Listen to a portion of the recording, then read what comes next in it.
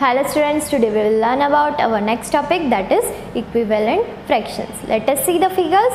Here I have taken uh, one round and one circle and one square. Okay, you can see that one part of circle is filled and two parts of square are filled. Okay, uh, we, we have discussed, discussed about if we are taking half part, how can we represent it?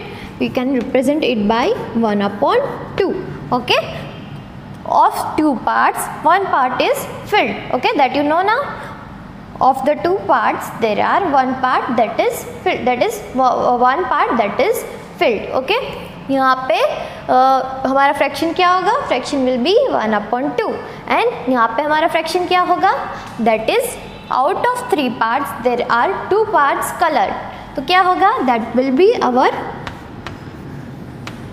fraction will be two upon three okay fraction क्या होगा that will be two upon three ना let's discuss what is equivalent fraction if I am multiplying हमारा जो fraction है, उसमें ऊपर नीचे में सेम नंबर से मल्टीप्लाई करती हूँ, कोई भी number any number I am multiplying लेकिन one thing we have to remember that it will it it जो हमारा नंबर है, वो सेम नंबर होना चाहिए। मतलब यहाँ पे मैं थ्री मल्टीप्लाई करती हूँ तो नीचे भी थ्री मल्टीप्लाई होगा।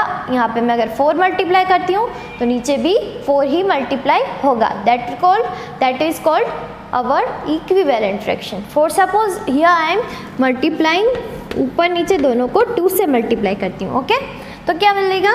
We will get two upon four अब इसको मुझे सर्कल में रिप्रेजेंट करना है. How can I represent just simple just make the line between them now we can see that be having four equal parts okay तो क्या होगा?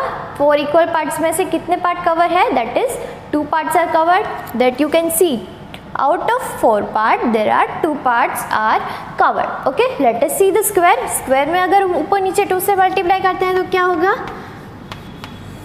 That will be four upon six now कैसे represent कर सकते हैं उसको हम? Just draw a line between them तो क्या मिल जाएगा? That are there are one two three and four four parts are coloured out of six okay हमारा फ्रैक्शन क्या मिलेगा? मिला हमें four upon six okay now we have discuss मतलब कि अभी मुझे फोर अपॉन सिक्स ये टू अपॉन फोर तो एक इक्विवेलेंट फ्रैक्शन हुआ।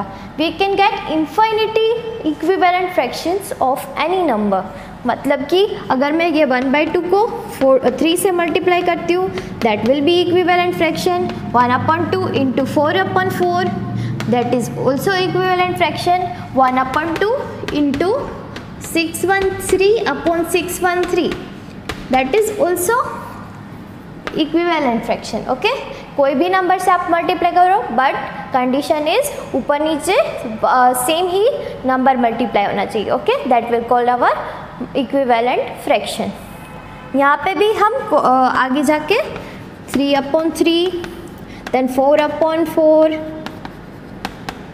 इस तरह से हमारे नेक्स्ट फ्रैक्शंस जो है वो ले सकते हैं. That is we have discussed about multiplication Also we can use by using uh, division we can also get equivalent fraction. How? Let us see.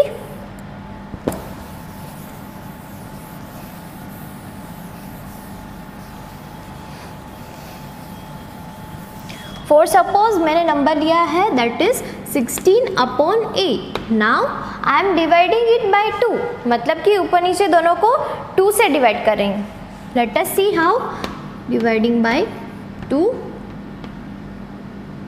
upon two okay means ऊपर भी divide होगा और नीचे भी डिवाइड होगा। बीच में हम हमारी साइन रखेंगे that is division two upon two sixteen upon two sixteen divide by two क्या होगा? That will be eight that you know now and नीचे क्या मिलेगा eight divide by two that is four we can say that eight upon four is the equivalent fraction to 16 upon 8 we can get more equivalent fraction मतलब अभी अभी 8 upon 4 को भी हम 2 से डिवाइड करते हैं तो that will be another equivalent fraction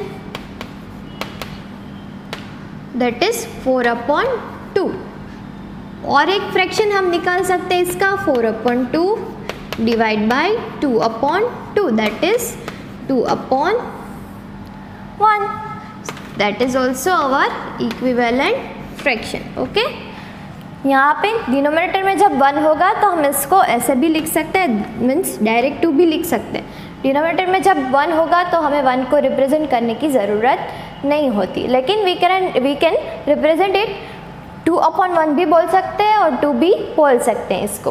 okay या सिक्सटीन अपॉन एट के कितने इक्वेलेंट फ्रैक्शंस मिले हमें?